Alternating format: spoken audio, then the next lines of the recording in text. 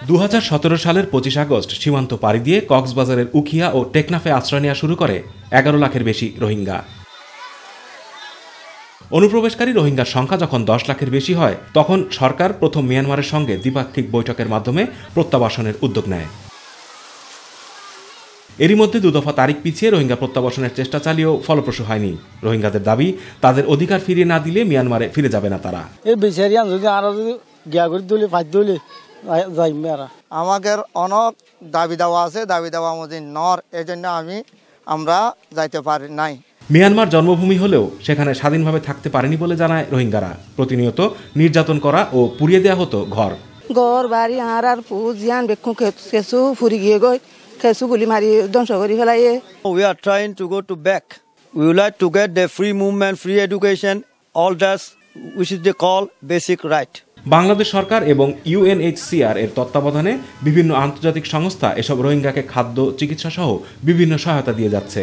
শরণার্থী ত্রাণ ও প্রত্যাবাসন কমিশন অফিস চৌত্রিশটি রোহিঙ্গা ক্যাম্পের প্রশাসনিক কার্যক্রম চালিয়ে যাচ্ছে। ওরা যাওয়ার জন্য সবসময় প্রস্তুত আছে এবং সেই হিসেবে আমরা সবসময় কাজ করি। তাদেরকে একসময় তাদের দেশেই ফেরত যেতে হবে। এদিকে উখিয়া ও টেকনাফে বিপুল সংখ্যক রোহিঙ্গা বসবাসের কারণে পরিবেশগত নানা সংকট সৃষ্টি হয়েছে। এছাড়া লোকালয়ে ঢুকে স্থানীয়দের বিভিন্ন হুমকি ধামকি ও খুন ডাকাতির মতো ঘটনাও ঘটছে। না রোহিঙ্গারা প্রতিনিয়ত যে অপরাধ কর্মকাণ্ডগুলো বিশেষ করে তারা মাদক যে প্রতিনিয়ত খুনাখুনি এরপর আরও অন্যান্য সন্ত্রাসী কর্মকাণ্ডের সাথে তারা লিপ্ত হচ্ছে। স্থানীয় ইউপি চেয়ারম্যান বললেন রোহিঙ্গাদের কারণে অনিরাপদ স্থানীয়রা। ক্যাম্পগুলোর আশেপাশে স্থানীয়দের বসবাস ঝুঁকিপূর্ণ হয়ে উঠেছে। আমরা আশায় বুক বাঁধি তারা চলে যাবে।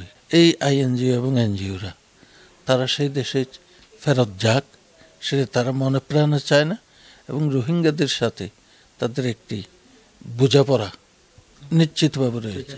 ক্যাম্প ও আশেপাশের নিরাপত্তায় নজরদারি বাড়ানো হয়েছে বলে জানালেন র্যাব পনেরোর সিও।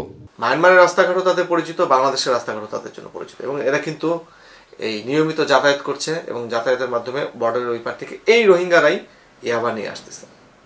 এবং বর্তমানে কক্সবাজারে টেকনাফে এই ইয়াবা ব্যবসাটা পুরোটাই মেনটেন করতেছে এই রোহিঙ্গা রোহিঙ্গাদের জন্য স্থানীয় জনগোষ্ঠীর মধ্যে সামাজিক অর্থনৈতিক কারণে প্রতিনিয়ত তীব্র অসন্তোষ সৃষ্টি হচ্ছে। তাই যত দ্রুত সম্ভব রোহিঙ্গারা স্বদেশে ফিরে যাক এমনটাই কামনা স্থানীয়দের।